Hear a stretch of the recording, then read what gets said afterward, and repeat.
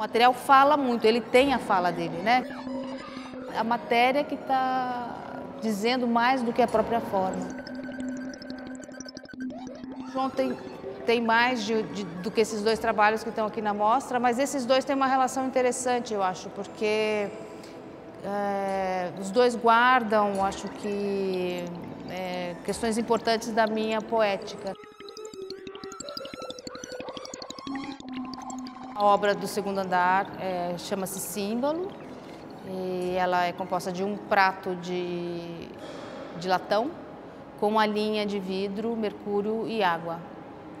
É, e aqui do primeiro andar é mármore e pó de mármore.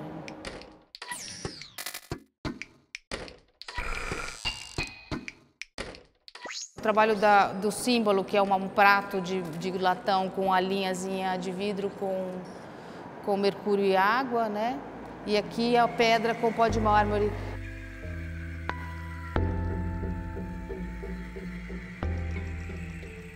Eles são muito parecidos, eles têm uma semelhança, porque são também quase que dois continentes, né? Que tem, que guarda algo, que contém algo que está fora dele, né? Que já esteve dentro e está fora, né? Eu acho que eles são bem diferentes, mas têm uma semelhança, né? É, essa questão da matéria que é de estados, quer dizer, que ela pode estar em vários estados, é uma tem sido uma questão que eu tenho olhado e tenho investigado no meu trabalho. O mármore, a pedra e o pó dele, né? É, acho que é bem clara acho que essa ideia da primeiro do tempo, mas de uma transitoriedade, mesmo a pedra, mesmo o mármore, que seria talvez o símbolo, quer dizer, a matéria que simbolicamente está muito associada à eternidade, onde a humanidade deixa sua marca meio achando que é para sempre, né? Aqui está no estado potencialmente seria para sempre e o estado que é que não é para sempre.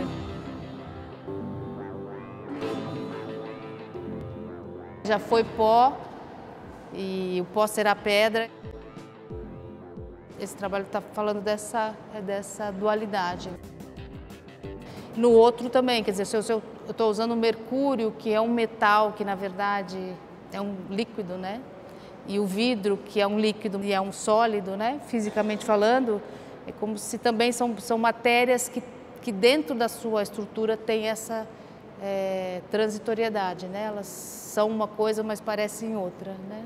Eu acho que é legal a relação desses dois trabalhos estarem juntos aqui nessa, na exposição. Eu não sou geração 80, porque apesar de ter começado a expor, minha produção mesmo se firmou já entrando pelos anos 90. A Leda, a própria Casa 7, eu sou da mesma geração, mas a minha produção é um pouco mais tardia. Muitos dos trabalhos que estão aqui eu vi é, nas galerias, quer dizer, tem, um, tem uma certa intimidade com o que está aqui, né? E agora tem uma delicadeza de como está a relação entre as obras eu achei muito feliz, assim, acho que tem umas conversas muito boas, né?